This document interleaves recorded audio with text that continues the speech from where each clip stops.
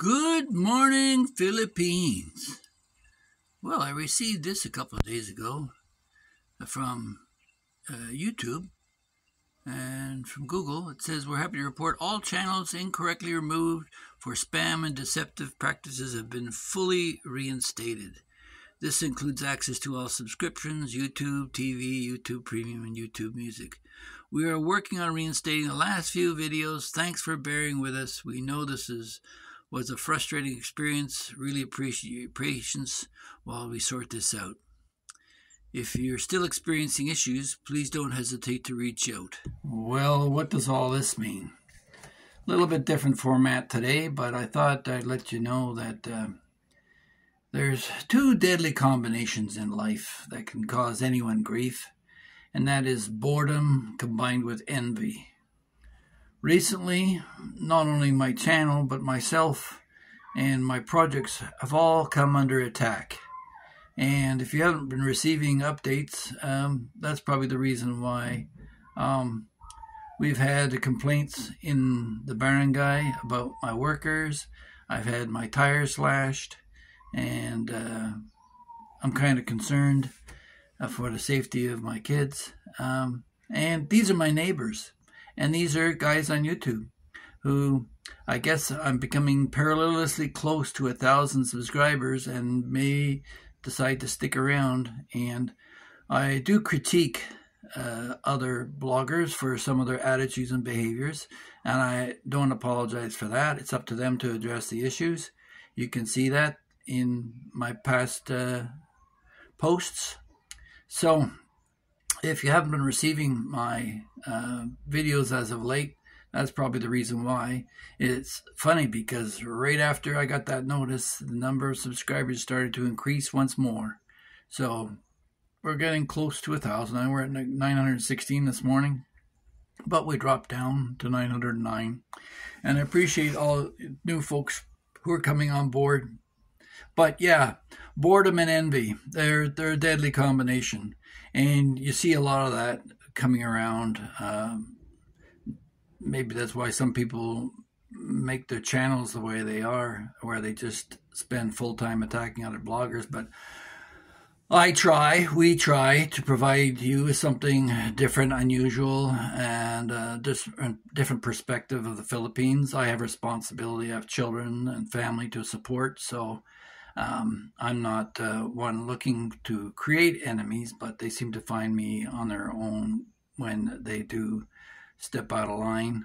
I'll point out to them, and I'll also point out the the uh, the good guys, like uh, James DeBerry, who is building a home right now, and uh, you can follow him. I'll give you the link um, and the construction videos that we do. But yeah, and the whole uh, boredom and envy thing is um, probably in large part due to the elevated unemployment still here in the Philippines. It's gone on for decades and it's getting better. But hopefully, when people get busy, they'll have less time on their hands to be envious of other people. So, but I don't compete with anybody except myself, and that frustrates a lot of people who want me to give them attention. And sorry, that ain't going to happen. I got a lot to do here with family and uh, my projects. And uh, yeah, while I'm got your uh, attention, if you're if you're a Pinoy Filipino with a decent property that I can develop, um, I'm trying to build. Um, I guess you could call it a super home. Uh, it's a passive uh, uh, temperature gain, uh, controlled through its design, um, self sufficient, strong enough to withstand earthquakes and typhoons. And you'll see that in my construction videos. That, that's what we're trying to attain here. So that uh, these are forever homes that won't fall apart in 25, 30 years.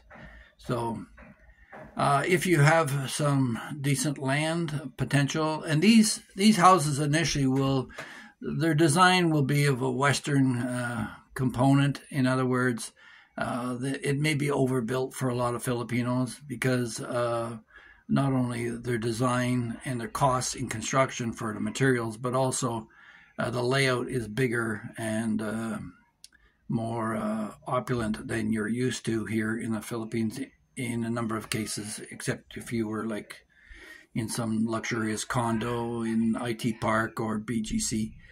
You're not going to get that much in the single family homes. So this is the first one. This is the test one that we're doing right now. It'll have solar, it'll have water filtration, it'll be fully housed, air conditioned, self sufficient, with additional power for blackouts and uh, emergencies for the community. That's the intention. So stay tuned and uh, welcome back if you're suddenly getting my uh, videos again. It wasn't me, it was other parties who I guess initiated complaints or concerns. So have yourself a great day and we'll talk to you on a regular uh, post for the construction coming this weekend. It'll be week, uh, what, 30? We're getting there. Okay, bye bye.